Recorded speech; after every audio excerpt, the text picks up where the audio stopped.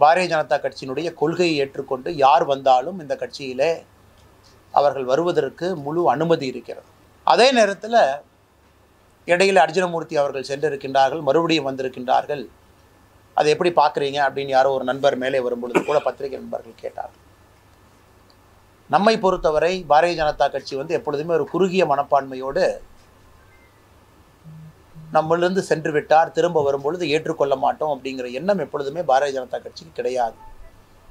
நம்முடைய சித்தாந்தம் நம்முடைய எண்ண அளவரிசையில் யார் இருந்தாலும் அவர்கள் நம்மோடு இணைந்து பயணிக்க வேண்டும் என்பது எங்களுடைய ஆசை. அர்ஜுனமூர்த்தி அவர்கள் பாரதிய ஜனதா கட்சியிலிருந்து பிரிந்து இந்த அரசியல் களத்திற்கு செல்ல வேண்டும் என்று சென்ற பொழுதும் கூட ஏன் என்று பாரதிய ஜனதா கட்சி கேள்வி கேட்கவில்லை. அதே போல் என்று வந்து இணைந்திருக்கின்றார்கள் ஏன் என்றும் நாங்கள் கேள்வி கேட்கவில்லை. ஏன்னால் நம்முடைய சித்தாந்தத்தோடு ஒத்துப்போகக்கூடிய ஒரு நபர். நிறைய சாதிக்க வேண்டும் நிறைய செய்ய வேண்டும். தமிழக மக்களுக்கு அவருடைய வாழ்க்கையிலே ஒரு நல்ல ஒரு முன்னேற்றத்தை கொடுக்க வேண்டும் என்று நினைக்கக்கூடிய மனிதர் திரும்பவும் வந்திருக்கின்றார். ஆனால் மகிழ்ச்சியோடு பாரதிய ஜனதா கட்சி அவரை ஏற்றுக்கொண்டு இந்த கட்சியிலே அவரை இணைத்து கொண்டு வருகின்ற காலத்தில் அவருடைய கடின உழைப்பால் இந்த கட்சி வளரும் என்கின்ற நம்பிக்கை எங்களுக்கு இருக்குது நான் பேசி முடித்த பிறகு அர்ஜுனமூர்த்தி அவர்கள் பத்திரிகை நண்பருக்கு பேசுவார். பட் இருந்தும் நான் ஒரு இரண்டு மூன்று கருத்துக்களை இந்த நேரத்தில் பத்திரிகை நண்பர்கள் இங்கே ஒரே இடத்துல குழுமி இருக்கின்றீர்கள் உங்களுக்கு சொல்ல வேண்டும் என்பதற்காக இந்த இரண்டு கருத்துக்களை உங்களுக்கு சொல்கின்றேன். சகோதர சகோதரிகளை நம்முடைய மாநில அரசு மின் கட்டண உயர்வை எதிர்த்து பாரதிய ஜனதா கட்சி தமிழகம் முழுவதுமே கண்டன ஆர்ப்பாட்டத்தை நடத்தி இருக்கின்றோம் மக்கள் மன்றத்திற்கு எடுத்து சென்றிருக்கின்றோம். அது அரசிற்கு மிகப்பெரிய அவப்பேரை ஏற்படுத்தி இருக்கிறது அந்த நேரத்தில் இப்போ அரசு வந்து மக்களுடைய கருத்தை கேட்டு நாங்கள் மின் கட்டணத்தை குறைப்பதா வேண்டாமா என்று யோசிப்போம் என்பது ஒரு பெரிய நாடகமாகத்தான் இருக்கிறதோ தவிர இது உண்மையாலுமே அவர்கள் ஜனநாயக முறைப்படி மக்களுடைய கருத்தை கேட்டு ஒரு பாலிசி சேஞ்ச் செய்ய போகிறாங்க அப்படின்னு தெரியல. இப்பொழுதே இபி அமைச்சர் அவருடைய சகாக்கள் ஆங்காங்கே பேரம் பேச ஆரம்பித்து விட்டார்கள். இண்டஸ்ட்ரியல் யூனிட்டு நீங்கள் குரூப்பாக வந்து பேசுனீங்கன்னா ஏற்றுனதை இவ்வளோ குறைப்போம். பெரிய பெரிய குரூப்பு தனித்தனியாக வாங்க டெக்ஸ்டைல் அசோசியேஷன் தனியாக வாங்க எம்எஸ்எம்இ கிளஸ்டர் தனியாக வாங்க பெரிய பெரிய நிறுவனங்கள் தனித்தனியாக வாங்க. ஸோ இந்த நாடகமே பார்த்தீங்கன்னா ஆங்காங்கே வசூல் வேட்டை நடத்துவதற்காக மட்டும்தான் மக்களிடம் சென்று நாங்கள் கருத்து கேட்கின்றோம். அதன் மூலமாக நாங்கள் ஏற்றிய மின் கட்டணத்தில் ஒரு பகுதியை குறைக்கின்றோம் என்று சொல்வது இந்த திமுக கட்சி குறிப்பாக இபி மந்திரி இந்த அனைத்து நிறுவனங்களிடமிருந்து ஒரு வசூல் வேட்டை நடத்துவதற்காக போடப்படுகின்ற கபட நாடகம்தான் இந்த மக்களிடம் கருத்து கேட்பது. அதனால் இந்த கபட நாடகத்தை எல்லாம் நிறுத்திவிட்டு மக்களிடம் கருத்து கேட்கின்றேன் என்கின்ற நாடகத்தை நிறுத்திவிட்டு உடனடியாக அவர்கள் ஏற்றிய அந்த மின் கட்டணத்தை குறைக்க வேண்டும் என்பதுதான் பாரதிய ஜனதா கட்சியினுடைய கோரிக்கை அதை இந்த மாநில அரசு செய்ய வேண்டும். மறுபடியும் தவறு மேல் தவறு செய்து அடுத்து யாருக்கிட்ட எவ்வளோ பணம் கேட்டாங்க யாரையெல்லாம் வர சொன்னாங்க எங்கேயெல்லாம் மீட்டிங் போட்டாங்க அதையெல்லாம் பாரதிய ஜனதா கட்சி கொண்டு வருவதற்கு வேண்டாம் என்று நினைக்கின்றோம். ஏன்னா ஏகப்பட்ட விஷயங்கள் நடந்து கொண்டிருக்கு. திரும்ப திரும்ப இவங்க ஊழல் பண்ணாங்க ஊழல் பண்ணாங்கன்னு எத்தனை நாளைக்கு பேசுறது. அதே போல் இரண்டாவது ஆன்லைன் ரம்மி. நமக்கு தெரியும் கிட்டத்தட்ட இதுவரை முப்பது தற்கொலைகள் நேரடியாக ஆன்லைன் ரம்மி தான் காரணம். என்று காவல்துறையினுடைய பதிவில் பதிவாகி இருக்கிறது. அப்படி இருக்கும் பொழுது முதலமைச்சர் அவர்கள் நான் கருத்து கேட்கின்றேன் என்று தொடர்ந்து என்ன கருத்து கேட்கின்றார்கள் என்று நமக்கு தெரியவில்லை. ஆன்லைன் ரம்மி என்பது உடனடியாக அது தடை செய்யப்பட வேண்டிய ஒரு விஷயம். அது பாரதிய ஜனதா கட்சி மாநில அரசு தடை செய்யும் பட்சத்தில் நிச்சயமாக நாங்கள் கூட இருப்போம். அதனால் உடனடியாக இந்த கருத்தை கேட்கின்றோம் என்று காலம் தாழ்த்தாமல் அடுத்து முப்பத்தி ஓராவது முப்பத்தி இரண்டாவது யாராச்சும் ஆன்லைன் ரம்மி மூலமாக பாதிக்கப்பட்டு தற்கொலை பண்ணாங்கன்னா அவர்களுடைய ரத்தம் ஆளும் கட்சியினுடைய அமைச்சர்கள் மீதும் முதலமைச்சருடைய கைகளில் மட்டும்தான் இருக்கும். அவர்கள் தான் அதற்கு பொறுப்பேற்க வேண்டும். இதற்கு மேலே காப்பி கேட் சூசைட் மாதிரி நடக்க ஆரம்பித்து உடனடியாக அதை தடை செய்ய வேண்டியது முதலமைச்சரனுடைய கடமையாக இருக்கிறது. அதை செய்வார் என்று நம்புகின்றோம். அந்த நேரத்தில் ஆவின் ஹெல்த் மிக்ஸ் பண்ணுவோமா பண்ண மாட்டோமா பண்ணுவோமா பண்ண மாட்டோமா இல்லையா? இந்த ப்ரோ ஹெல்த் மிக்ஸ் கேம்பெல்லாம் போய் இன்றைக்கி மாநில அரசு கடைசியாக ஆவின் ஹெல்த் மிக்ஸை தயாரிப்பதற்கு முன் வந்திருக்கின்றார்கள். இதைத்தான் முதலிருந்து சொல்லி கொண்டிருக்கின்றோம். அதனால் மாநில அரசுக்கு சுகாதாரத்துறை அமைச்சருக்கு நன்றியை சொல்லி அந்த டெண்டரில் அவங்க கஷ்டப்பட்டு மாற்றி இன்னொருத்தர் கொடுக்குறதெல்லாம் விட்டுட்டு உடனடியாக அந்த ஆவின் ஹெல்த் மிக்ஸினுடைய பவுடருக்கே டெண்டர் கொடுக்க வேண்டும் என்றும் சொல்லுகின்றோம். அது மூணு மாதமாக இல்லாத ஒரு காரணத்தை சொல்லி அந்த ஊழல் செய்த நிறுவனத்திலிருந்து இன்னொரு நிறுவனத்திற்கு கொடுப்பதற்கு எவ்வளோ முயற்சி எடுத்து பார்த்தாங்க. இதை பற்றி இன்னைக்கு இவ்வளவு தூரம் பேசுகிறாங்க ஜெயரஞ்சன் அவர்கள் இந்த மாநிலத்தினுடைய இந்த ஸ்டேட் பிளானிங் கமிஷனில் இருக்கக்கூடிய ஜெயரஞ்சன் அவர்கள் பல விஷயத்தை பற்றி பேசுகிறார் ஆனால் அவருடைய தலைமையில் அந்த கமிட்டியில் தான் இந்த ஹாவின் ஆவின் ஹெல்த் மிக்ஸை அப்ரூவ் பண்ணாங்கன்னு இது வரைக்கும் ஒரு வாயை திறக்கல. இதான் ரொம்ப ஆச்சரியமான விஷயம். இலவசங்களை பற்றி பேசுகிறாரு பல விஷயத்தில் பல விஷயங்களில் பேசக்கூடிய ஜெயரஞ்சன் அவர்கள் அவருடைய தலைமையில் நடந்த அந்த கமிட்டியில் தான் இந்த ப்ரோ ஹெல்த் மிக்ஸுக்கு பதிலாக ஆவின் ஹெல்த் மிக்ஸை தயாரித்து கொடுக்கணும் அப்படின்னு போட்டு நடந்த மினிட்ஸ் ஆஃப் மீட்டிங்கை பற்றி இதுவரைக்கும் அவர் பேசாதது மிகப்பெரிய ஒரு ஆச்சரியம். ஆனால் இன்றைக்கி அமைச்சரே மறைமுகமாக வந்து ஆவின் ஹெல்த் மிக்ஸ் மார்க்கெட்டுக்கு வரும் என்று சொல்லியிருப்பது பாரதிய ஜனதா கட்சி மனதாக வரவேற்கின்றோம். சகோதரர்களே இப்போ தமிழ்நாட்டில் பார்த்தீங்கன்னா ஒரு பெரிய கருத்து. குறிப்பாக வந்து விவாதமாக இருப்பது இலவசங்கள் நமக்கு வேண்டுமா வேண்டாமா என்பது ஒரு பெரிய விவாத பொருளாக எல்லா இடத்துலையும் நம்ம டிவி டிபேட்டு பத்திரிகை நண்பர்கள் இங்கே இருக்கக்கூடிய பத்திரிகை சகோதரர்கள்லாம் நிறைய பண்ணுற எழுதுறீங்க பேசுகிறீங்க சகோதரர்களே ஒரு விஷயத்தை நாம் உணர்ந்து கொள்ள வேண்டும்.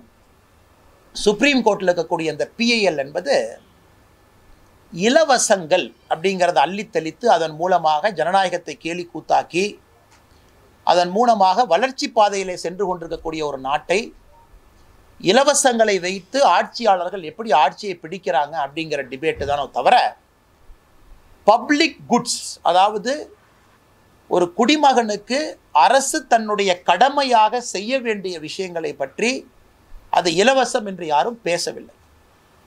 அதை நம்ம பப்ளிக் குட்ஸ்னு சொல்லி சொல்கிறோம் அதாவது மக்களுக்கு கொடுக்க வேண்டிய ஒரு விஷயத்தை பப்ளிக் குட்ஸ் அது அரசனுடைய கடமை அது சுகாதாரமாக இருக்கலாம் கல்வியாக இருக்கலாம் குடிநீராக இருக்கலாம். இதெல்லாம் பப்ளிக் குட்ஸில் வந்துடுது ஒரு பெஸ்ட் மாடல் அப்படிங்கும் பொழுது கல்வி என்பது இலவசமாக இருக்க வேண்டும் என்பது தான் பெஸ்ட் மாடல் கல்வி என்பது நூறு சதவீதம் இலவசமாக இருக்கணும். அது இங்கிலாண்டில் இருக்குது அமெரிக்காவில் இருக்குது அது எல்லாம் ப்ரைவேட் ஸ்கூல்ஸ்க்கு வேலையே இல்லை. அது ரொம்ப ஹையர் எண்டில் மட்டும்தான் ப்ரைவேட் ஸ்கூல்ஸ் வச்சுருக்காங்க. இன்ஃபேக்ட் யூகேல பார்த்தீங்கன்னா எல்லா சுகாதாரமே முழுவதும் என்ஹெச்எஸில் நேஷனல் ஹெல்த் ஸ்கீமில் இலவசமாக இருக்குது இரண்டு ஜனநாயகத்தில் இது மக்களுடைய அடிப்படை உரிமையாக ஒரு கல்வி ஒரு சுகாதாரம் இலவசமாக மக்கள் வரி கட்டுகின்றார்கள் கிடைக்க வேண்டும். அதை வரி கட்ட முடியாதவர்களுக்கும் வரி கட்ட முடிந்தவர்கள் தன்னுடைய பங்காக கொடுக்க வேண்டும் என்பதுதான் ஜனநாயகத்தினுடைய ஒரு வேராக இருக்கிறது. அதை பற்றி பாரதிய ஜனதா கட்சியோ பாரதிய ஜனதா கட்சியினுடைய தலைவர்களோ எங்கேயும் பேசவில்லை. இன்ஃபேக்ட் அதுக்கு உதாரணமே இதற்கு உச்சகட்ட உதாரணமே நம்முடைய பாரத பிரதமர் திரு நரேந்திர மோடி அவர்கள். வீடு இல்லாதவர்களுக்கு வீடு அது ஒரு பப்ளிக் குட் வீடு இல்லாதவங்களுக்கு வீடு கொடுக்கணும். கேஸ் அடுப்பு இல்லாதவங்களுக்கு கேஸ் அடுப்பு கொடுக்கணும். குடிநீர் வசதி இல்லாதவர்களுக்கு குடிநீர் பைப்பு மூலமாக கொண்டு வந்து கொடுக்கணும்.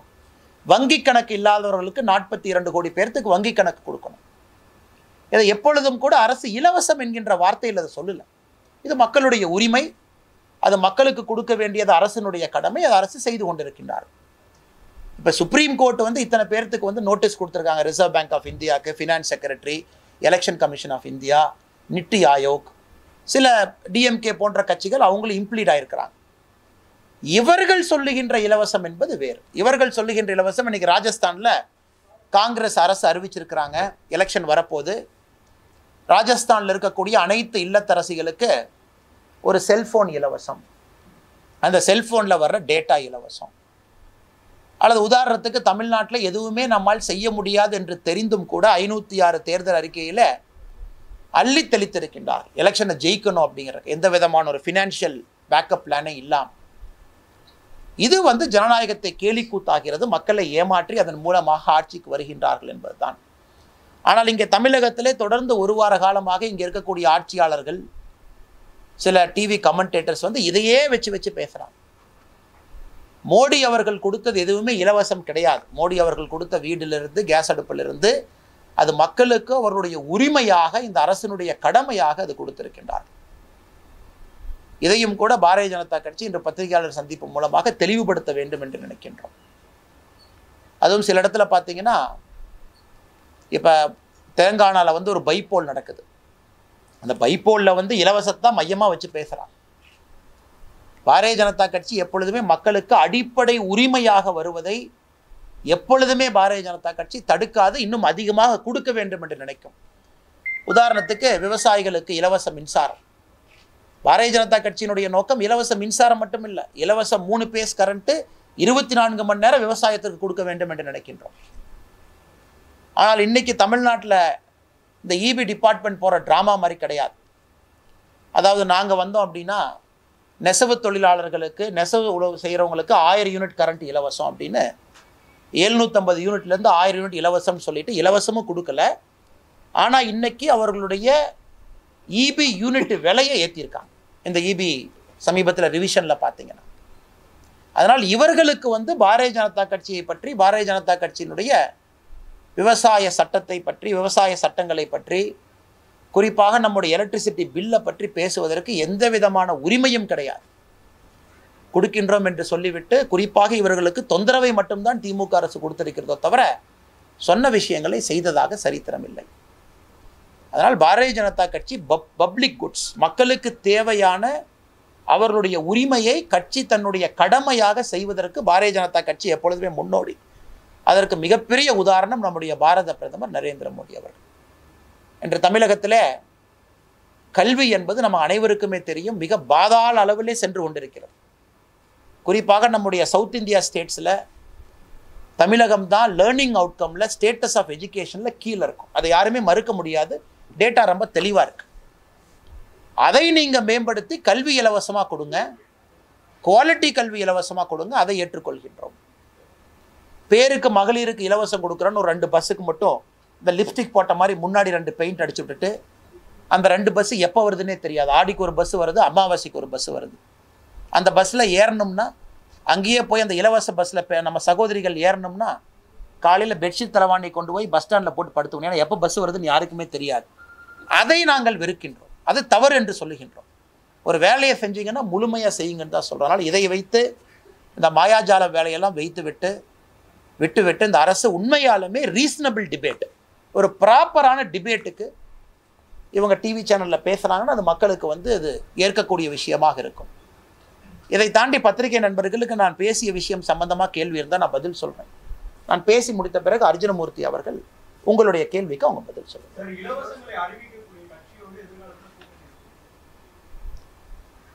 நல்ல கேள்வி தான் நீங்கள் கேட்குறது நல்ல ஒரு கேள்வி. ஏன்னா பாரதிய ஜனதா கட்சியினுடைய பிரின்சிபல் ஸ்டாண்ட் பிரின்சிபல் ஸ்டாண்ட் கட்சியாக பிரின்சிபல் ஸ்டாண்டாக நம்முடைய தேசிய தலைவரோ யாருமே என்ன என்ன கருத்து சொல்லலை. இலவசத்தை பற்றி இது பாரதிய ஜனதா கட்சியை சார்ந்த ஒருவர். அவர் வந்து சுப்ரீம் கோர்ட்டில் ஒரு பொதுநல வழக்கா பிஐ எல்லாம் இந்த கேஸை போட்டிருக்காங்க. அதில் வந்து நோட்டீஸ் கொடுத்துருக்காங்க. அதில் பாரதிய ஜனதா கட்சியினுடைய பல தலைவர்கள் என்னையும் உட்பட இந்த இலவசங்களால் குறிப்பாக ஆட்சிக்கு வர வேண்டும் என்று நிறைவேற்ற முடியாத பொய் இலவச விஷயங்களால் ஜனநாயகம் சீரழிந்து கொண்டிருக்கிறது என்று நாம் சொல்லிக் கொண்டிருக்கின்றோம். நாம் சொல்லிட்டு இருக்கோம். அதனால் நான் வந்து ஒரு கட்சியினுடைய பாலிசி மெஷராக ஒரு கட்சியினுடைய தேசிய தலைவர் சொல்லுவதை இந்த நேரத்தில் நான் சொல்லுவது சரியாக இருக்காது. இது என்னுடைய தனிப்பட்ட கருத்துங்கண்ணா அண்ணா அடுத்த தேர்தல் அடுத்த தேர்தல் நடக்கட்டும். ஒரு கட்சி அவங்களுடைய இலவசத்தை பற்றி சொல்லட்டும். இதை நாங்கள்லாம் இலவசமாக கொடுக்க போகிறோன்னு சொல்லட்டும். அதற்கான நேரம் வரும் பொழுது ஏன்னா இதை பற்றி கருத்து சொல்வது ஒரு மாநில தலைவராக சரியாக இருக்காது. இப்போ நான் சொன்னால் கூட என்னுடைய தனிப்பட்ட கருத்தாக சொல்கிறோம் இலவசங்களால் பல இடங்களில் நம்முடைய நாடு அழிந்து கொண்டிருக்கிறது என்பது நிதர்சனமான ஒரு உண்மை. அது ஜனநாயக தண்டவாளத்திலிருந்து ட்ரெயின் சைடில் திருப்பி விட்டுட்டாங்க. ஆனால் அந்த கட்சியோட நீங்கள் கூட்டணி வைப்பீங்களா? இலவசத்தை மட்டும் மையமாக ஒரு கட்சி சொல்லுது. ஏன்னா அதற்காக ஒரு கட்சியின் மீது நான் பழி போட விரும்பலை. இப்போ அந்த கட்சியை கூப்பிட்டு நீங்கள் கேட்டிங்கன்னா அவங்க அதை வேறு மாதிரி டிஃபெண்ட் பண்ணலாம். ஒரு ஜனநாயகத்தில் அவங்க வேறு மாதிரி சொல்லலாம். நீங்கள் எப்படி அது இலவசம் நீங்கள் சொல்லுவீங்க? அந்த கட்சி. ஏன்னா மக்கள் மன்றத்தில் நாம் வாதம் வைக்கின்றோம். இது எல்லாமே மக்கள் மன்றத்தில் வைக்கக்கூடிய வாதம். பாரதிய ஜனதா கட்சி ஒரு வாதம் வைக்குது இன்னைக்கு சுப்ரீம் கோர்ட்டில் திமுக ஒரு வாதம் வைக்குது. இதை மக்கள் உணர்ந்து எந்த வாதம் சரியான வாதம் என்பதை புரிந்து கொள்வார்கள் என்பது எங்களுடைய நம்பிக்கை. ஏன்னா அதற்கும் வந்து திமுக சொல்கிறாங்க இங்கே பாருங்க இலவசம்லாம் கொடுத்துருக்கோம் இதெல்லாம் நடந்திருக்குன்னு அவங்க திமுக சொல்கிறாங்க ஆனால் பாரதிய ஜனதா கட்சியும் நாம் கொடுக்கறத இலவசம் என்று சொல்ல அதை பப்ளிக் குட்ஸாக சொல்கிறோம் அது பப்ளிக் குட்ஸ் மக்களுடைய உரிமை அந்த உரிமை மறுக்கப்பட்டிருக்கிறது. எழுபது ஆண்டுகள் கழித்து ஒரு டாய்லெட் கட்டி மோடிஜி கொடுக்குறாரு அப்படின்னா அது மக்களுடைய உரிமையாகத்தான் பார்க்குறோமோ தவிர அந்த டாய்லெட் என்பது ஒருத்தர் கொடுக்கப்பட்ட இலவசமாக நம்ம பார்க்கலாம். ஏன்னா அதெல்லாம் ஃபண்டமெண்டல் பப்ளிக் குட்ஸ் அந்த மக்களுடைய தேவைக்குள்ளே இருக்கக்கூடிய ஒரு விஷயங்கள். அதனால் இந்த நேரத்தில் மக்கள் மன்றத்தில் பல விதமான கருத்துக்களை நாம் வைக்கின்றோம். இது எண்ட் ஆஃப் தி டே ஒரு ஜனநாயகத்தில் மக்கள் ஓட்டு போட்டு தான் ஜெயிக்க முடியும். மக்கள் தான் ஓட்டு போட்டு செலக்ட் பண்ணுறாங்க நீங்கள் சொல்கிறத நான் ஏற்றுக்கிட்டேன் உங்கள் மேனிஃபெஸ்டோவை நான் ஏற்றுக்கிட்டேன் பாரதிய ஜனதா கட்சியினுடைய நான் கருத்தை நான் ஏற்றுக்கிட்டேன் இலவசத்தை பற்றி நீங்கள் சொன்னதை ஏற்றுக்கிட்டேன் இது அனைத்தையுமே மக்கள் மன்றத்தில் வைப்போம். இன்னும் ஒரு ஆறு மாதம் ஒரு வருஷத்துக்குள்ளே மக்களாகவே முடிவெடுக்க ஆரம்பிப்பாரும் ஏன்னா ஒரு ஒரு தேர்தலுமே இந்த இலவசத்துக்கு ஒரு சவால் தான். நீங்கள் சொல்கிற தமிழ்நாடு தேர்தல் நடக்கிறதுக்கு முன்னாடியே ராஜஸ்தான் நடந்து முடிஞ்சிருக்கும். தெலங்கானா நடந்து முடிஞ்சிருக்கும். கர்நாடகா நடந்து முடிஞ்சிருக்கும். ஆனால் மக்கள் மன்றத்தில் மக்கள் எப்படி அதை பார்க்கின்றார்கள் என்றும் நாம் பார்க்க வேண்டும். ஆனால் நம்முடைய அரசியலமைப்பு சட்டம் உங்களுக்கு தெரியும். ஜென்ரலாக ஒரு பக்கம் மத்திய அரசு கொரோனாக்கு ஃபேஸ் ஒன்ல இந்தியா முழுவதும் இதை செய்யுங்க அப்படின்னொடனே அதற்கு முதல் எதிர்ப்பு கொடுத்ததே இங்க இருக்கக்கூடிய முதலமைச்சர் திரு மு க ஸ்டாலின் அவர்கள். கொரோனால நாடு முழுவதுமே சேர்த்து ஒரு காமன் பிளான் கொண்டு வரும் பொழுது அதை எதிர்க்கட்சி தலைவராக இருந்த திரு மு க ஸ்டாலின் அவர்கள் இப்போ நம்முடைய முதலமைச்சர் மாண்புமிகு திரு மு க ஸ்டாலின் அவர்கள் அதை எதிர்த்தாங்க. அதனால தான் ஃபேஸ் டூ ஒரு நேஷ்னல் லாக்டவுனே பார்த்தீங்கன்னா மோடிஜி போடல. நேஷ்னல் லாக்டவுனு ஸ்டேட் வைடு போடுங்க. நீங்கள் எல்லாம் அதை பார்த்து முடிவெடுங்க. உங்களுக்கும் அதிகாரம் இருக்கிறது என்று சொல்லியிருக்கின்றார் இது இன்னைக்கு ஆன்லைன் ரம்மி தமிழ்நாட்டை பாதிக்குது. காரணம் என்னன்னா எழுபத்தி இரண்டு சதவீதம் தமிழக மக்கள் இன்னைக்கு இன்டர்நெட்டில் இருக்காங்க. சோஷியல் மீடியாவில் இருக்காங்க. மேபி இன்டர்நெட்னா அதிகமாக இருப்பாங்க. சோஷியல் மீடியாவில் எழுபத்தி ரெண்டு சதவீதம் தமிழக மக்கள் இருக்காங்க. அதனால் நம்ம இமாச்சல பிரதேஷோ ஒரு பீகாரோ ஒரு உத்தரப்பிரதேசத்துக்கு கம்பேர் பண்ணும் பொழுது நாம் எங்கேயோ முன்னாடி போயிட்டோம். இன்னைக்கு அந்த ஆன்லைன் ரம்மி எல்லாமே பார்த்தீங்கன்னா இன்டர்நெட்டை சோஷியல் மீடியாவை சார்ந்தது. நீங்கள் ஒன்றுமே இல்லை சோஷியல் மீடியாவில் போய் அவனை ஓப்பன் பண்ண ஆன்லைன் ரம்மி பேனர் ஆடு மேலே வருது. நீங்களே வேண்டானாலும் அவன் இதை விளையாடுங்க அதை விளையாடுங்க இதை குயிக்காக விளையாடுங்கிறான் டிவி ஆடு வருது. அதில் பெரிய பெரிய நடிகர்கள் பெரிய பெரிய சினிமா ஸ்டார்ஸு ஸ்போர்ட்ஸ் ஸ்டார்ஸ்லாம் நடிக்கிறாங்க. இன்றைக்கி இது தமிழ்நாட்டினுடைய பெரிய பிரச்சனை. தமிழ்நாட்டினுடைய முப்பது பேர் இறந்துருக்காங்க. தலையாய பிரச்சனை நம்ம பார்க்கும் பொழுது இதை மாநில அரசு உடனடியாக தடை செய்ய வேண்டும் என்பது எங்களுடைய வேண்டுகோள்.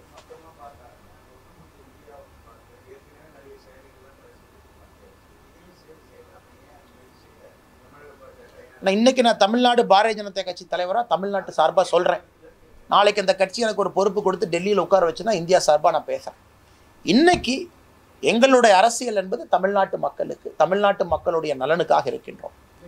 இந்த நேரத்தில் இதை உடனடியாக தமிழக அரசு தடை செய்ய வேண்டும் என்பது. இப்போ நீங்கள் கொரோனா ஃபேஸ் டூ லாக்டவுனில் கொரோனா ஃபேஸ் டூ லாக்டவுனுக்கே தமிழ்நாடு அரசு இப்போ இருக்கக்கூடிய முதலமைச்சர் ஒத்துக்கல. அது எப்படி மாநிலத்தினுடைய அதிகாரத்தை நீங்க பறிப்பீங்க? மாநிலத்தினுடைய அதிகாரத்தை எப்படி பறிப்பீங்க? ஆனால் டிக்டாக்கு இது அனைத்துமே வந்து உங்களுக்கு தெரியும். அது வந்து சமுதாய பிரச்சனைக்காக தடை பண்ணல.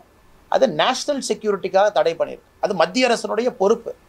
டிக்டாக்கு சைனீஸ் ஆப்பு சைனீஸ் சம்மந்தப்பட்டதெல்லாம் அதை இதையும் கம்பேர் பண்ணாது அது அனைத்துமே நேஷனல் செக்யூரிட்டிக்காக கல்வான் பள்ளத்தாக்கு இஷ்யூக்கு அப்புறம் இந்தியா எடுத்த முடிவு அதை நம்ம தடை பண்ணியிருக்கோம் இந்த சமுதாய பிரச்சனைகள் சமுதாய சீரழிவு இன்க்ளூடிங் லிக்கர் இன்க்ளூடிங் லிக்கர் லிக்கருக்கும் மத்திய அரசுக்கும் எந்த சம்மந்தமும் இல்லை.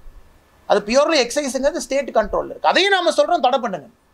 இதெல்லாம் பியூர்லாக ஸ்டேட் ஸ்பெசிஃபிக் இஷ்யூஸ் ஆனால் நீங்கள் தயவு செஞ்சு டிக்டாக்கையும் ஒரு ஆன்லைன் ரம்மி கம்பெனியும் ஒன்றா கம்பேர் பண்ணாதீங்க.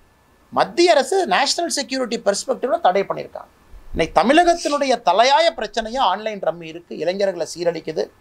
மற்ற ஸ்டேட்டை விட நம்மளது மொபைல் பெனட்ரேஷன் அதிகம் இன்டர்நெட் யூசர் அதிகம் சோஷியல் மீடியா யூசர் அதிகம். மேபி ஹிமாச்சலில் இன்னும் பத்து வருஷம் கழித்து தமிழ்நாட்டுடைய பிரச்சனை அவங்களுக்கு வரலாம். பீகாருக்கு இன்னும் ஒரு பத்து வருஷம் கழித்து வரலாம். ஏன்னா இன்னும் பெனட்ரேஷன் இல்லை. அர்பன் இந்த அளவுக்கு போகல எல்லாத்து கையிலையும் செல்ஃபோன் எல்லாரும் பயன்படுத்துகிறாங்க தமிழ்நாடு கிராமத்துக்கு போனாலும் இன்டர்நெட் பெனட்ரேஷன் இருக்குது அப்போ ஆன்லைன் ரம்மிங்கிறது அடிக்ஷன் ஸ்டேஜுக்கு போயிடுச்சு அது ஒரு கேமுங்கிறத தாண்டி அடிக்ஷன் ஆயிட்டாங்க சார் அனைத்து ஜாதிகளும் அர்ச்சனாகலாம்னு சொல்லி இன்னைக்கு நீதிமன்றம் அந்த அரசாணையை வந்து அங்கீகரிச்சிருக்காரு கண்டிப்பா முதல்ல இருந்து பாரதிய ஜனதா கட்சியினுடைய ஆதரவு இருக்கேங்கண்ணா பாரதிய ஜனதா கட்சியினுடைய ஆதரவு வந்து அனைத்து ஜாதியினருமே அர்ச்சனை அர்ச்சனை அர்ச்சகர் ஆகலாம் அதை பற்றி எப்பொழுதுமே பாரதிய ஜனதா கட்சி அதுக்கு எதிரான கருத்தை எப்பவுமே சொல்ல இதுக்கு முன்னாடி மாநில தலைவர் முருகன் அவர்கள் இருந்தார்கள். இப்போ நான் இருக்கிறேன். நாங்கள்லாம் தொடர்ந்து ஒரே கருத்து சொல்கிறோம் ஆனால் தமிழ்நாட்டில் சில இடத்துல ஆகம சாஸ்திரம் இருக்குது குறிப்பாக நம்ம சிதம்பரத்தில் தீட்சிதர் அதெல்லாம். அது வந்து காலம் காலமாக நம்ம ஃபாலோ பண்ணிக்கிட்டு வர்றோம். அதையும் நம்ம கரு கருத்தில் வச்சு மனசில் வச்சு அதை கொண்டு போகணும். அதே நேரத்தில் அனைத்து ஜாதியினரும் அர்ச்சகர் ஆகலாம் அப்படிங்கிறது எங்கேயுமே எப்பொழுதுமே பாரதிய ஜனதா கட்சி எதிர்க்கவில்லை. நம்முடைய ஆதரவு மாநில அரசுக்கு தொடர்ந்து இந்த விஷயத்தில் இருந்து கொண்டே இருக்கிறது.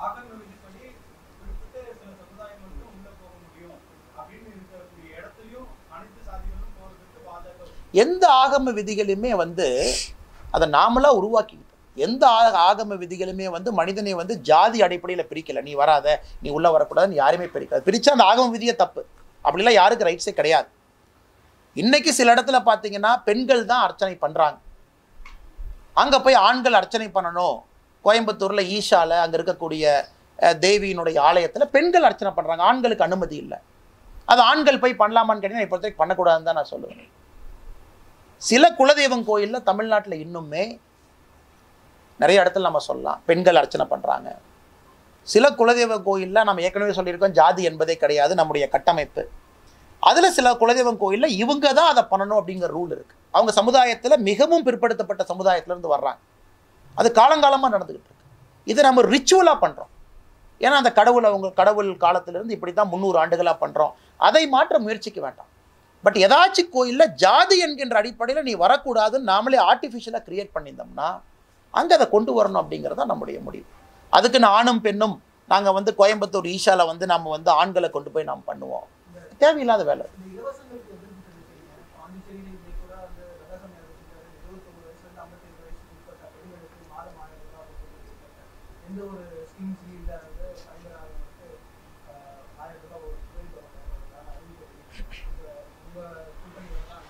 அண்ணா இது இது எப்படி நீங்கள் இலவசம்னு சொல்கிறீங்கண்ணே அண்ணா அதாவது ப்ரெக்னென்ட் உமனுக்கு நரேந்திர மோடிஜி அவர்களுடைய அரசில் மானிட்டரி சப்போர்ட் இருக்குது ப்ரெக்னென்ட் உமனுக்கு ப்ரெக்னென்ட் உமன் மானிட்டரி சப்போர்ட் இருக்குது குறிப்பாக நம்முடைய பதினெட்டு வயசு கீழே இருக்கக்கூடிய பெண் குழந்தைகளுக்கு சுகன்யா சம்ருத்தி ஸ்கீமில் மானிட்ரி பெனிஃபிட் இருக்குது இதெல்லாம் அவங்களுடைய ரைட்டு ஒரு வயசானவங்கள பார்த்து கொள்ள வேண்டிய கடமை ஒரு சமுதாயத்துக்கு இருக்குது சமுதாயத்தினுடைய ரோல் அது. அதை பண்ணுறாங்க அது அரசு வந்து மானிட்டரி சப்போர்ட்டாக கொடுக்குதா? இல்லை இன்ஸ்டிடியூஷனல் ஹோமாக கொடுக்குதா? அது தவறு கிடையாதுங்கண்ணா நாம் சொல்லுகின்ற இலவசம் என்பது செல்ஃபோனில் ஆரம்பித்து இப்போ தமிழ்நாட்டுக்கு அடுத்து போய் பார்த்தீங்கன்னா டிவி எல்லாம் தாண்டி இன்டர்நெட் எல்லாம் தாண்டி அடுத்தடுத்த லெவலுக்கு அதை கொண்டு போகும் பொழுது அந்த ஜனநாயகம் என்பதே கேலிக்கூத்தாகுது என்பது அதனால் தயவு செஞ்சு இலவசத்தையும் ஒரு அரசினுடைய கடமையும் நம்ம குழப்பிக்க வேண்டாம். சுப்ரீம் கோர்ட்டு அதற்காகத்தான் இத்தனை பேர்த்துக்கு நோட்டீஸே கொடுக்குது. இலவசம் என்ன? பப்ளிக் குட்ஸ் டிஃபைன் பண்ணுவாங்க ஏன்னா இத்தனை பேர் ஃபினான்ஸ் மினிஸ்டருக்கு ஏன் நோட்டீஸ் கொடுக்குறாங்க? நித்தி ஆயோக் ஏன் நோட்டீஸ் கொடுக்குறாங்க? அந்த இலவசங்கிறதை என்னன்னு ஃபஸ்ட்டு டிஃபைன் பண்ணுவோம் அப்படி. அதனால் இன்னும் ஆறு மாதம் பொறுத்தீங்கன்னா அது சுப்ரீம் கோர்ட் என்னை பொறுத்தவரை ஒரு நானும் உங்களை போல் ஒரு குடிமகனாக எதிர்பார்க்கின்றேன். சுப்ரீம் கோர்ட்டே இதுக்கு ஒரு மேண்டேட் போட்டு கொண்டு வந்துருவாங்க நம்புவோம்.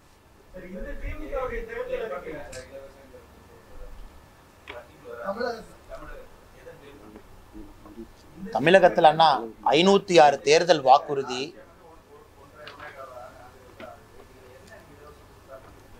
ஐநூற்றி ஆறு தேர்தல் வாக்குறுதி.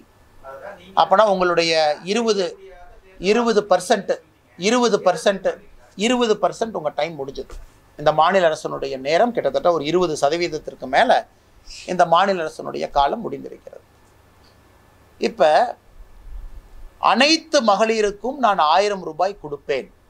அனைத்து மகளிரும் அனைத்து இல்லத்தரசிகளுக்கும் நான் ஆயிரம் ரூபாய் கொடுப்பேன் அப்படின்னு நீங்கள் ஒன்று சொல்கிறீங்க இப்போ இவர் சொல்கிறது அறுபத்தோரு வயசுக்கு மேலே இருக்கக்கூடிய முதியவர்களுக்கு.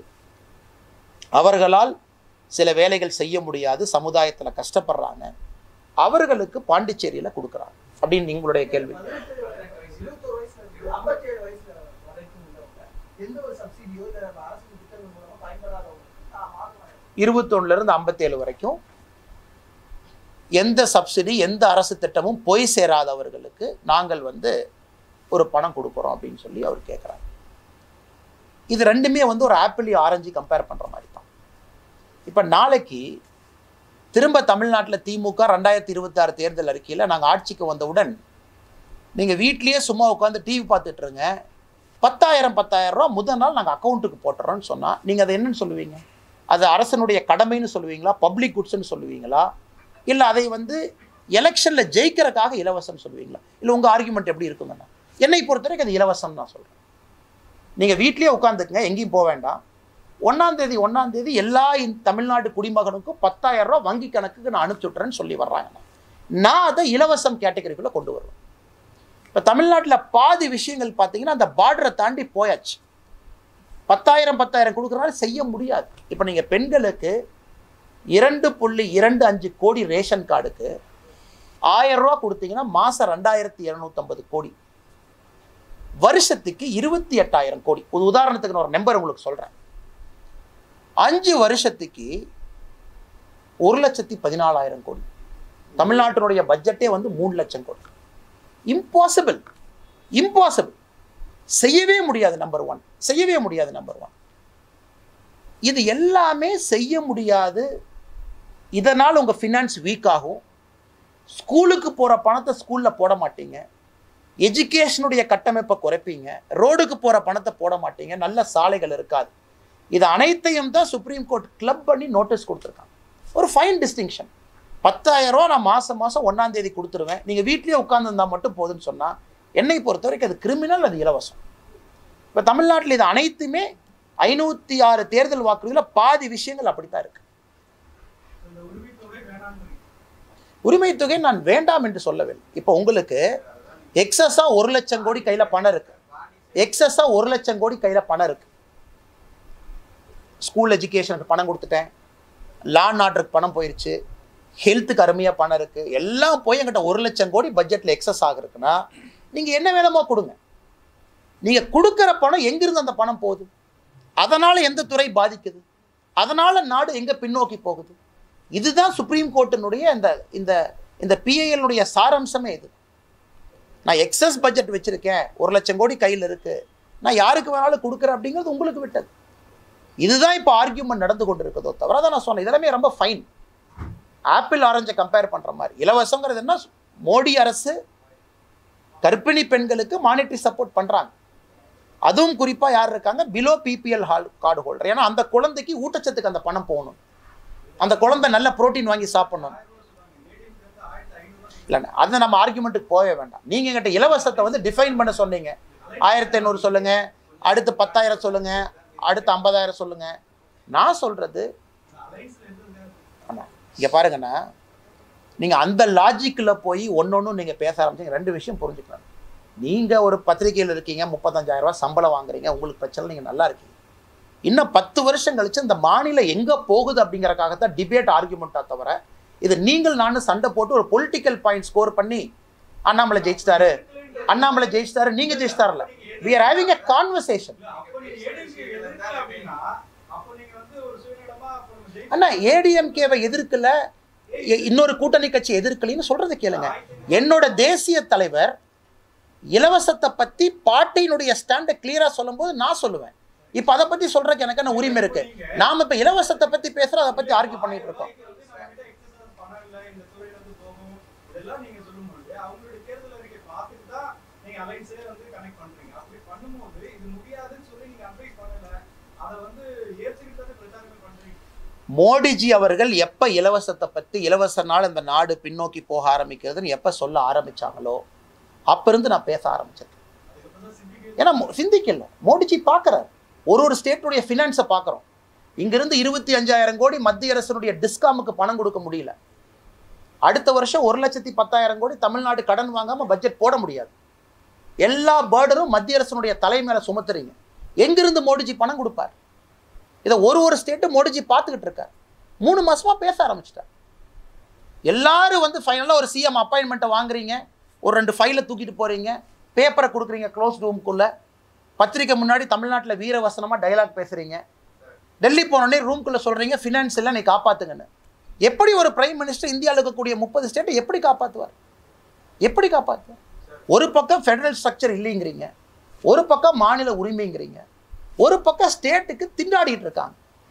ஸோ எல்லாமே ஒரு limit தானுங்கன்னா how will the government support you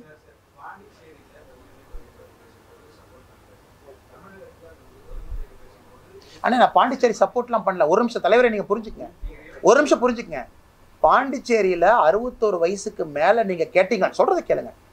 அறுபத்தோரு வயசுக்கு மேலே இருக்கான்னு கேட்டதுக்கு அவர் கிளாரிஃபை பண்ணார். நான் ஃபஸ்ட்டு அறுபத்தோரு வயசுக்கு மேலே இருக்குன்னு சொன்னோன்னே அரசனுடைய கடமை. அவர் ரெண்டாவது ஒரு கிளாரிஃபை பண்ணார் இல்லைனே அது அது பதினெட்டு வயசுலேருந்து பதினெட்டு வயசுலேருந்து ஐம்பத்தேழு வயசு வரைக்கும் எந்த விதமான அரசு மானியமும் அண்ணா நீங்கள் பாருங்கண்ணே. உங்கள் டெலிவிஷன் சேனலில் வெல் ஃபண்டட்ண்ணே யாரோ பணம் போடுறாங்க சம்பளம் வந்துடும் இது நம்ம பொலிட்டிக்கல் பாயிண்ட்டுக்காக நம்ம பேசலை. இது காமன் சிட்டிசனுக்கு ஒரு குடிமகனுக்கு ஒரு ஆர்கியூமெண்ட்டாக நம்ம பேசிகிட்டு இருக்கோம். இலவசம் இருக்கக்கூடிய கட்சியை விரும்புகிறீங்களா எப்படிப்பட்ட ஆட்சியாளர் விரும்புகிறீங்களா இதில் வந்து நிட்பிக் பண்ணுற கொண்டில் நாங்கள் பத்து வருஷம் முன்னாடி கட்சியோட கூட்டணி வச்சிருக்கலாம். அவங்க இலவசம் கொடுத்துருக்கலாம். அது பாயிண்ட் கிடையாது. பத்து வருஷத்துக்கு முன்னாடி இந்தியா வேற. இன்னைக்கு இருக்கிற இந்தியா வேற. இருபது வருஷத்துக்கு முன்னாடி தமிழ்நாடு ரெவென்யூ சர்ப்ளஸ் ஸ்டேட் பணம் எக்ஸஸாக இருந்த ஸ்டேட் இன்னைக்கு இந்தியாவில் அதிக கடன் வாங்கின மாநிலம். ஸோ தயவு செஞ்சு நான் அதே போல் டிஎம்கே வந்து ரெண்டா தொண்ணூத்தொம்போதில் ஒன்று இலவசமாக கொடுத்தாங்க. அதை பற்றி நான் ஆர்குமெண்ட்டே பண்ணல. அப்போ பணம் இருந்துச்சு. அது எக்ஸஸ் ஸ்டேட் அப்போ. எக்ஸஸ் ஸ்டேட் நான் ரெண்டாயிரத்தில் டிஎம்கே மேனிஃபெஸ்டோ பற்றி நான் பேசலைங்க. ரெண்டாயிரத்து பத்தி பற்றி பேசல. அந்த நிலைமை வேற. காலங்கள் வேறு. இன்னைக்கு ஒரு ஒரு மாநிலங்களுமே கடன் மாநிலமாக மாறிக்கொண்டிருக்கிறது. தமிழ்நாடு ஆறு லட்சம் கோடி. ஸோ தயவு செஞ்சு இதை பொலிட்டிக்கலாக எடுத்துகிட்டு போகாதீங்க. நீங்கள் அஞ்சு வருஷத்துக்கு முன்னாடி உங்கள் ஸ்டாண்ட் இன்னைக்கு தேதியிலன்னா இன்னைக்கு இன்னைக்கு பிரைம் மினிஸ்டருடைய ஆர்கியூமெண்ட்டு இன்னைக்கு பிரைம் மினிஸ்டர் ஆர்கியூமெண்ட்டு ஒரு ஒரு ஸ்டேட்டினுடைய ஃபினான்ஸ் ரொம்ப மோசமான நிலைமையில் இருக்குது இதை ஒரு ஒரு எலெக்ஷன்லையும் இப்படித்தான் நீங்கள் ஆட்சிக்கு வரணும் நீங்கள் ஆரம்பிச்சீங்கன்னா யார் வந்து ஒரு ஒரு மாநிலத்தை காப்பாற்றுவாங்க அப்படிங்கிறதான் பிரைம் மினிஸ்டருடைய க்ரக்ஸ் பாயிண்ட் இந்த மூணு மாதமாக இதுதான் டிபேட்டாக ஓடுது. ரெண்டாயிரத்தி பதினாலு நீங்கள் கூட்டணி வைக்கும்போது என்ன? ரெண்டாயிரத்தி பதினொன்று என்ன? அது பிரச்சனையே கிடையாது. காலம் வேறு சூழ்நிலை வேறு. தமிழ்நாடு அப்போ ரெண்டு லட்சம் கோடி கடனில் இருந்துச்சு. இன்றைக்கி ஆறு லட்சம் கோடி கடனில் இருக்கு. இந்த வருஷம் ஒரு லட்சத்தி பத்தாயிரம் கோடி கடன் வாங்கினா ஏழு லட்சத்தி பத்தாயிரம் கோடி கடன் போயிடும். இந்தியாவில் எந்த மாநிலமே ஏழு லட்சம் கோடி கடன் வாங்கினது கிடையாது. எப்படி சுகாதாரத்துறைக்கு பணம் கொடுப்பீங்க? எப்படி பள்ளி கல்வித்துறைக்கு பணம் கொடுப்பீங்க? அமைச்சர் சொல்கிறார் தொண்ணூற்றி ரெண்டு சதவீதம் பள்ளி கல்வித்துறைக்கு வர்ற பட்ஜெட்டு சம்பளமாகவே போயிடுது நான் எப்படி பில்டிங் கட்டுவேன்? இதெல்லாம் தானே பாயிண்ட்டு இதெல்லாம் இந்த பாயிண்ட்டு தான் நான் மக்கள் மன்றத்தில் வைக்கிறோம். அது மக்கள் டிசைட் பண்ணுவாங்க. ப்ரெஷர் குரூப்பாக அவங்க பேசுவாங்க. அது மூலமாக ஆட்சியாளர்கள் மாறுவாங்க. அரசியல் கட்சிகள் மாறும். அவங்க வேற மாதிரி யோசிப்பாங்க. அதுதான் டிபேட்டோ தவிர இதில் நம்ம ஆர்கியூமெண்ட் பண்ணோம் மோடிஜி மூணு மாதமாக அதை பேச ஆரம்பிச்சிருக்காரு. ஏன்னா ஒரு ஒரு ஸ்டேட்டும் தெலங்கானா நாலு லட்சம் கோடினா நாலு லட்சம் கோடி கடன் தெலங்கானா. நேற்று அமித்ஷாஜி பேசினார். தேர்தல்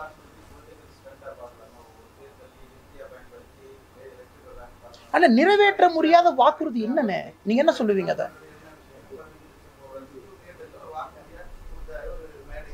நீங்க இன்னைக்கு எனக்கு காமிங்கண்ணே? இன்னைக்கு எனக்கு காமிங்க. அந்த வீடியோ நீங்க எனக்கு காமிங்க. எங்கே சொல்லியிருக்காரான்னு காமிங்க. காமிங்க. நான் நான் போய் என் சேம்பர்லேயே உட்காந்துருக்கேன் மோடிஜி வாயிலிருந்து அது வந்ததை நீங்கள் என் சேம்பரில் காட்டணும். இல்லாட்டி நீங்கள் மன்னிப்பு கேட்கணும். இல்லாட்டி நீங்கள் மன்னிப்பு கேட்கணும். இல்லாட்டி நீங்கள் மன்னிப்பு கேட்கணும். அடுத்த ப்ரெஸ் மீட்டில் என் பக்க சேரில் உட்காந்து மன்னிப்பு கேட்கணும். அந்த வீடியோ உண்மைனா அடுத்த ப்ரெஸ் மீட்டில் நான் அது காரணம் சொல்கிறேன் எஸ் நீங்கள் அடுத்த ப்ரெஸ் மீட்டில் என் பக்கத்தில் உட்காந்துருக்கணும் எத்தனை நாளைக்கு இதே பொய்யை தமிழ்நாட்டில் திரும்ப திரும்ப சொல்லுவீங்க? கண்டிப்பாக இல்லை எனக்கு தெரியும். எங்கேருந்து அனுப்ப போகிறீங்க நான் சேம்பர்லேயே தான் இருக்கிறேன். நீங்கள் அடுத்த ப்ரெஸ் மீட்டில் என் பக்கத்தில் உட்காரணும். சரிங்களா டிஜிபி இருக்கு அமித்ஷா வந்து எச்சரிக்கை தொடர்ச்சியான நேஷனல் செக்யூரிட்டியில எப்படி நம்ம எந்த இதில் லேப் இருக்குன்னா நம்ம இலங்கைக்கு உதவுறோம் ட்ரான்ஸ் கொடுக்குறோம் கவர்மெண்ட் ப்ரைஸ்லாம் கொடுக்குறோம் அதே நேரத்தில் சீனாவுக்கும் இலங்கை உதவி வாங்குறதா எப்படி நம்ம பார்க்குறோம் ஆனால் இது வந்து ரொம்ப துரதிருஷ்டவசமான ஒரு விஷயம் தான் ஏன்னா இந்தியாவோட அரசினுடைய எதிர்ப்பையும் வெறுத்து எதிர்த்து இலங்கை வந்து சீன கப்பலை குறிப்பாக அந்த கப்பலுடைய ஸ்ட்ரக்சரு அந்த கப்பலுடைய எண்ணம் நோக்கம் எல்லாமே நம்ம ஆன்லைனில் படிக்கிறோம் எல்லா இடத்துலையுமே பார்க்குறோம் அது நம்முடைய அரசு எதிர்த்தும் கூட இலங்கை வந்து அவங்களுக்கு அந்த அம்பன்டோட்டா போர்ட்டில் வந்து டாக் பண்ண விட்டுருப்பது ரொம்ப துரதிருஷ்டவசமானது தான் பட் அதே நேரத்தில் இதில் ரொம்ப சென்சிட்டிவான ஸ்டேட் வந்து தமிழ்நாடு. நம்ம தான் ரொம்ப க்ளோசஸ்ட்டாக இருக்கும். அசெட்ஸ் அங்கே இருக்குது கடல் அசெட்ஸ் இருக்குது சி அசெட்ஸ் இருக்குது அதனால் அமித்ஷாஜி வந்து டிஜிபிக்கு சொன்ன அறிவுரை பற்றி எனக்கு தெரியாதுங்கண்ணா. மேபி உங்களுக்கு தெரிஞ்சிருக்கலாம் இப்போ தெரியல. அதனால் இது துரதிருஷ்டவசமானது என்று மட்டும் என்னுடைய கருத்தை இங்கே பதிவு செய்கிறேன்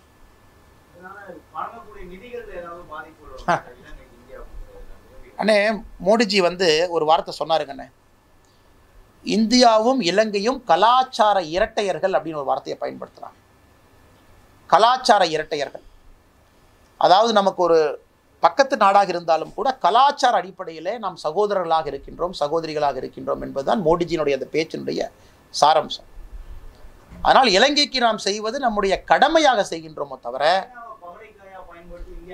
அது இலங்கை யோசிக்கணும் ஓர பாயிண்ட் ஆஃப் டைம் அது இலங்கையினுடைய அரசியல் இலங்கையினுடைய திங்கிங் அது இலங்கையும் வருகின்ற காலத்தில் யோசிப்பாங்க.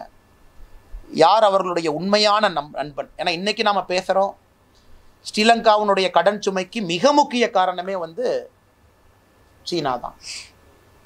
சீனாட்ட எப்போ கடன் வாங்க ஆரம்பித்தாங்க எப்போ ninety nine year old lease போட்டாங்க? எப்போ போர்ட்டிலிருந்து கொழும்பு துறைமுகம் பக்கத்தில் அந்த ஹை சிட்டி பில்டு பண்ண ஆரம்பித்தாங்க அப்போ தான் அந்த டெப்ட் ட்ராப்புக்குள்ளே போனாங்க. இது இலங்கைக்கு மட்டும் புதுசு இல்லைண்ணே பாதி ஆப்பிரிக்கன் நேஷன் யாரெல்லாம் சீனாட்ட கடன் வாங்கினாங்களோ எல்லாமே இந்த டெப்ட் ட்ராப்பில் இருக்காங்க. அது இலங்கை உணருவார்கள் உணர்கின்ற காலம் வரும். ஆனால் இல இந்தியாவை பொறுத்தவரை நாம் இல சீனா மாதிரி ஒன்று செஞ்சோம் அதனால் ரெண்டு எடுத்துக்கலாம் அப்படிங்கிறத விட இது கலாச்சார இரட்டையர்களாக நம்முடைய பணியை செய்து கொண்டிருக்கின்றோம்.